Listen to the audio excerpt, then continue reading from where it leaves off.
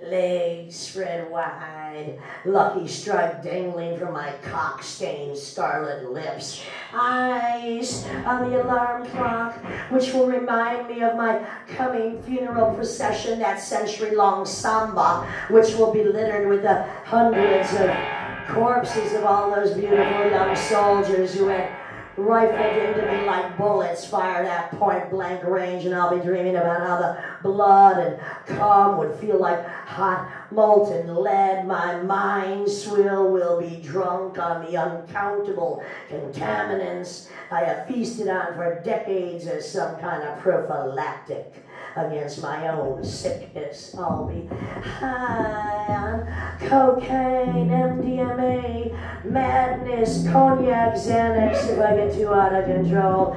Yeah, and I remember actually some days, some days, some days, some nights, I saw the best minds of my generation scoring dime bags of dope on Avenue T. Their sickness, inseparable from their disease. They would pass out, puke, wake up, pass out, puke, and they always said the same thing. They said, some nights, some nights, some nights, some decades are meant to be wasted. I haven't wasted. I haven't wasted a second of my fucking life.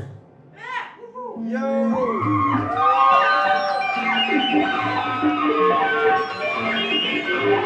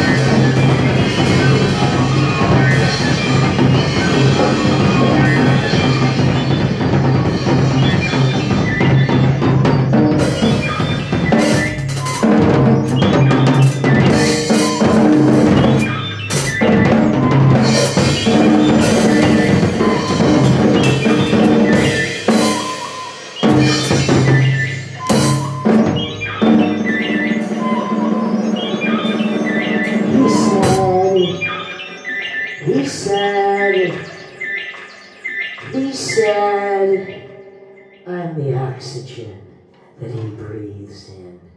He said, I am the oxygen that he breathes in. He said, I was like a dirty white honeysuckle. He said, I was like the night.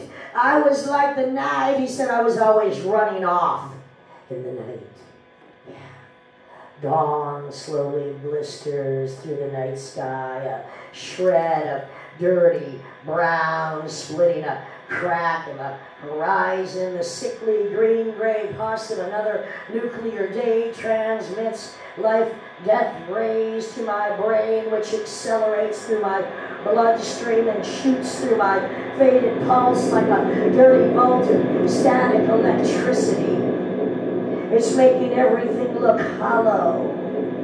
Life size ghosted images of what real once was, I'm no longer sure I know. I jolt upright like a reanimated autopsy whose motor functions fail, and after hours of neglect, register and ferment shock waves. I'm sleeping with his memory. I'm sleeping with his memory. If I roll my eyes back enough, far enough, onto the inside of my sockets, I will somehow, like a cheap five and dime storefront gypsy fortune teller, zero in on him, and his last thought will scare the living shit out of me. He was like a sick shark, isolated in a prison of pain, his loneliness tasted of sand and sewer drains, of day old beer and broken promises, of black eyes and bruised ribs, of bloody rags wrapped around the temple. He said he was soaking up the fallout from the body as battlefield. He said the body is just a battlefield. The body is just a punching bag. The body is just an experimental canvas. The body is just a sack of pus and cum. And he did everything in his power to make sure his body was trampled under by his own big black boots. Stormtroopers kicking the shit out of him obviously looking for the enemy within, waging a counteroffensive which would guarantee mutually assured destruction, not only against him, not only against me, but aimed directly at that shell shocked little boy that cowered in the corners late at night, scared of Holy Ghost and shadows, waiting for his mommy. And oh, I'll play mommy, I'm good at it. To kamikaze in to the demilitarized zone. That place where a part of him still lived, and oh, I wanted to love him like he pretended to love me.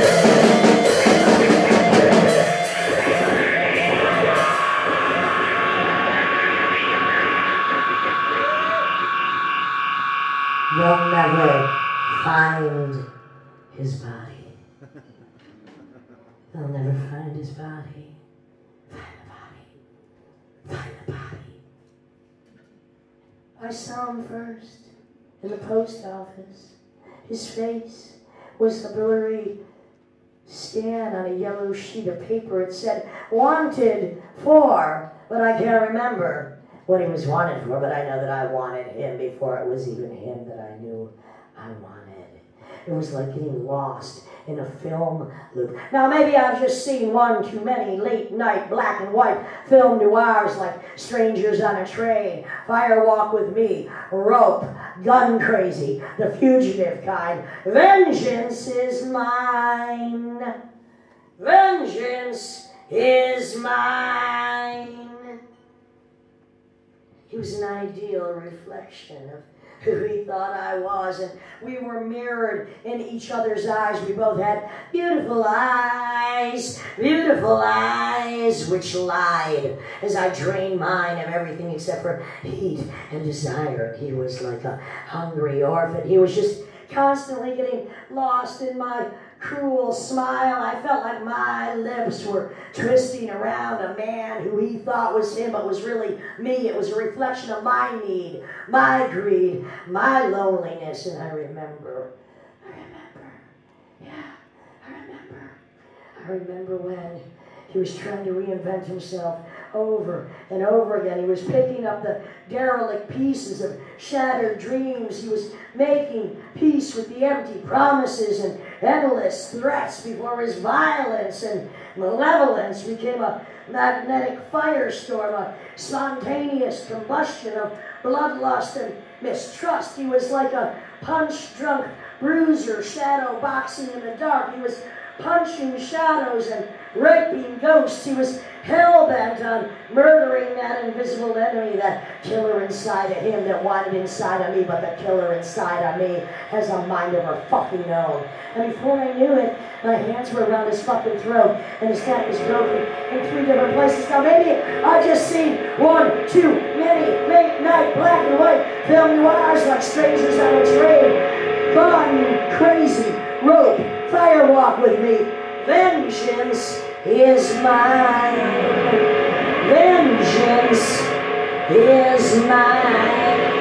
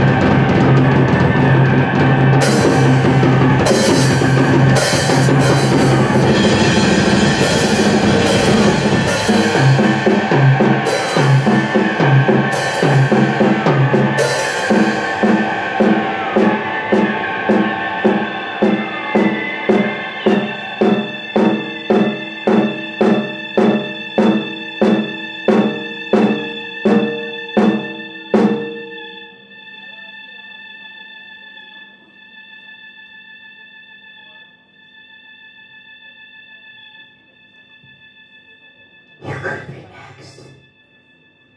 You could be next.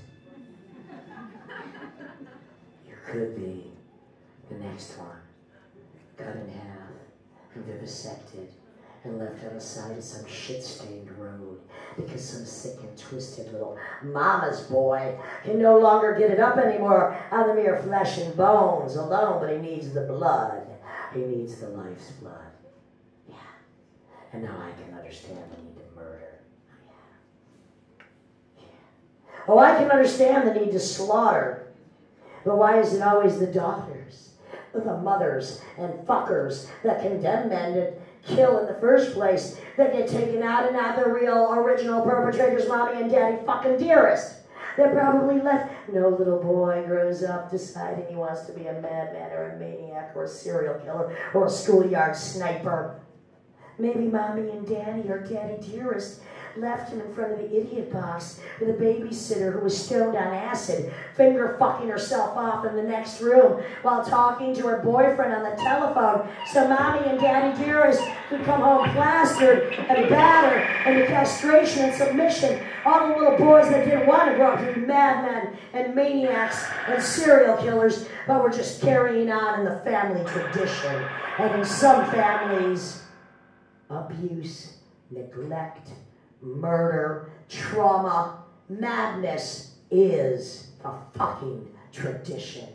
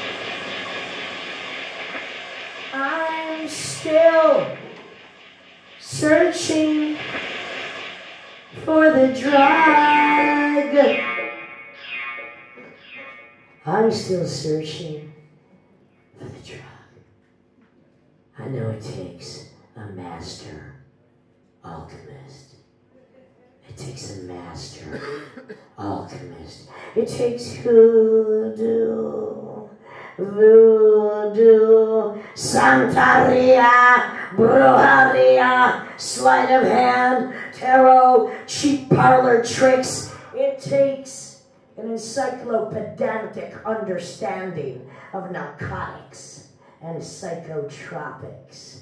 And I'm still searching for the drug that'll bring me real ecstasy, not some cheap weekend rave.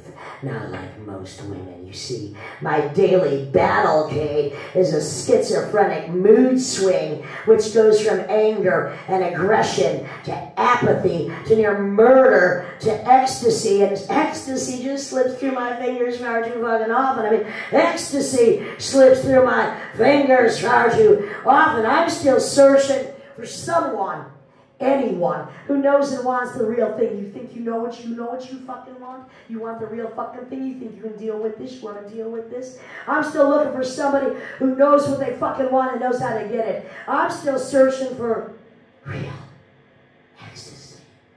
You got that for me, baby. You got that for me. I know you do, because I've been grooming you for a while, son.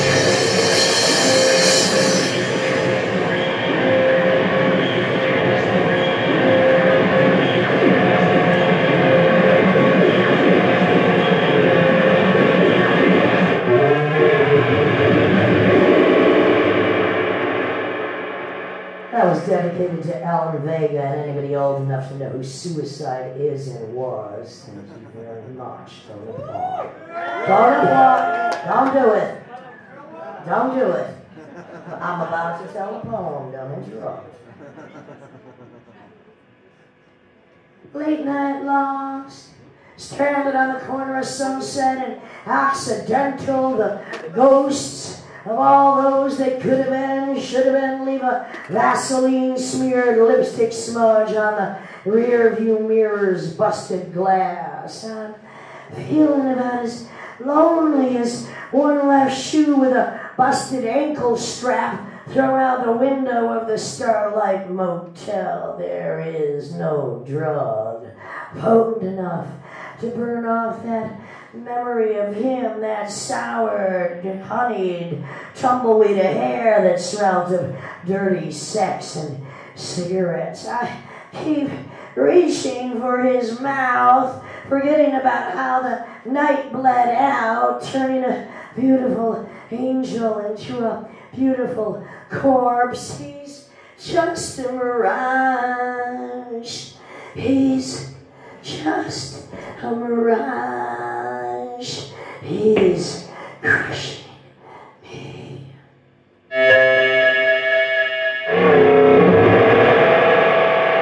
He slowly rises like a desert rat. He's gathering the strength of dead men everywhere. I move my lips in protest, but my breath is turned to dust. My bones are hollow husks. He's mouthing instructions which I will fight with all my will. He's telling me to pick up the snub nose, pick up the snub nose. He slinks into me. He's in my skin. This is his domain. I have a soft spot for him. Yeah, I have a soft spot. Kiss on the razor's edge. Kiss on the razor's. This is his domain. Caretaker to the endless obsidian night, that reanimator of dead dreams and broken promises. He's just a mirage. He's just a mirage. He's crushing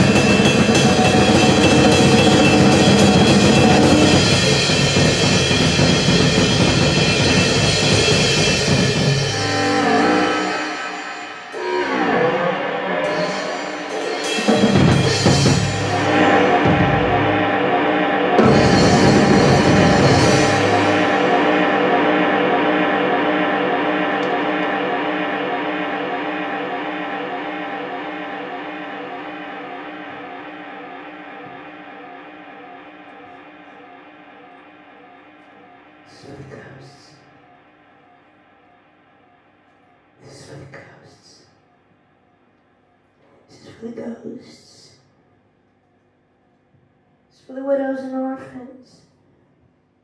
It's for the widows and orphans of warriors.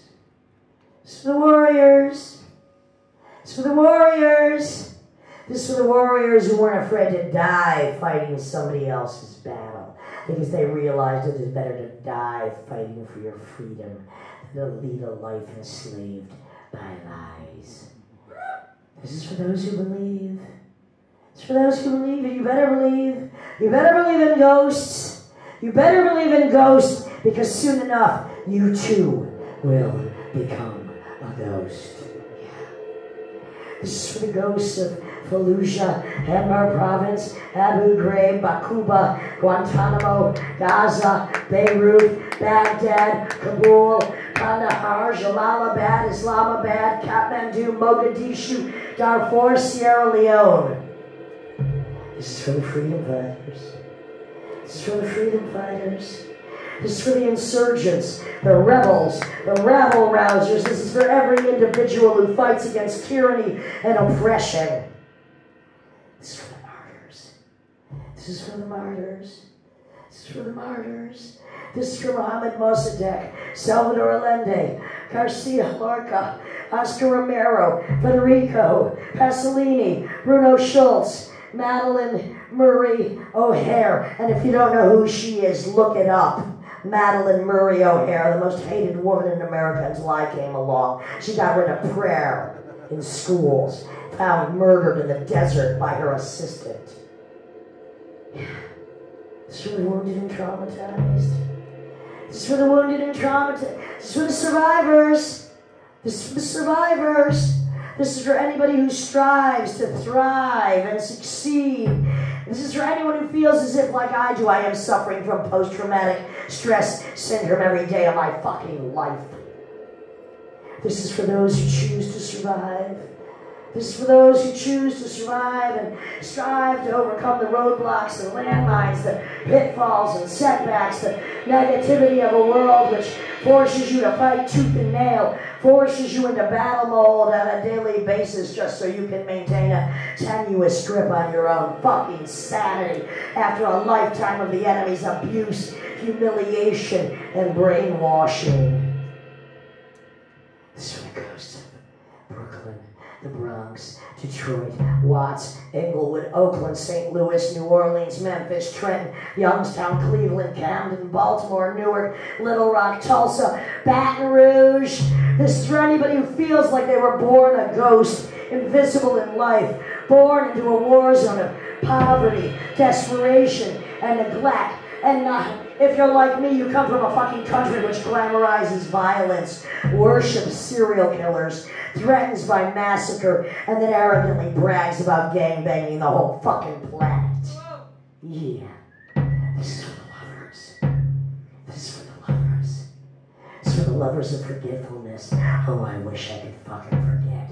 But like every witch, I feel fucking cursed to know every fucking atrocity committed by every fucking man that's ever walked this fucking planet.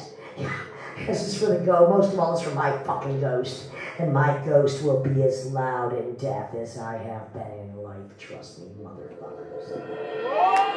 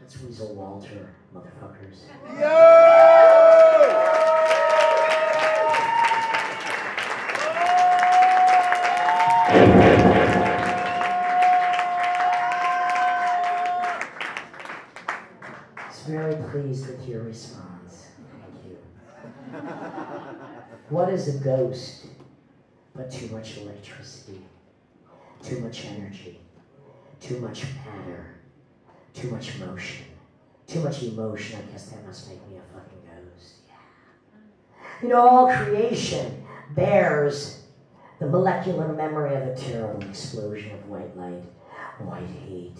Yeah. You know, violence was the first act of creation, the big fucking bang. Chaos is the law of nature. Chaos is the law of nature. It's the score upon which reality was written. The universe is just geometry stricken with epilepsy. I myself am merely a convulsionary suffering from episodic fits of frenzy. And although I didn't say it, some surrealist in the 1920s said, whoever creates demands destruction.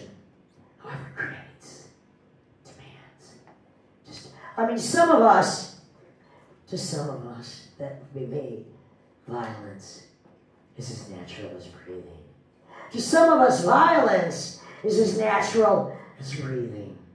We're conceived in the passionate act of animal violence. Our first cry is slapped out of us. We're born in blood. We are battered into breathing. And I admit it. The American way of life has turned me into a death defying murder junkie. I'm high on bombs bursting in air, on bullets rifling off the bellies of pregnant women, of poisoned children shot on school buses, on schoolyard snipings. I mean, on sea craters of despair in the eyes of men, women, and children, their eyes rotted by the cathode glare of the television, video games, the internet. It seems as if the whole world's gone wild, right? I mean, the whole world's gone wild, right? I mean, oh, baby, baby, it's a wild. The whole fucking world's gone wild, man. They turned the whole fucking world into a ghetto, a whorehouse, an orphanage, a refugee camp, a sweatshop, a slaughterhouse, a bomb factory, a landmine, a butcher shop, a shooting gallery, an insane asylum, a toxic fucking dump. And all the killers are heroes. All the killers are here. All my heroes are killers. And I myself am filled with a murderous fucking rage. It's like a battle of bitches boxing their way out. I mean, one minute really you're flesh and bones, and the next minute you're flesh and fucking blood. I feel like I have become the rapist. I have become the rapist whose impotence at annihilating the real killers has made me very violent against myself and anybody else who gets in my fucking way. And if you think I'm fucking hostile, you got no fucking clue.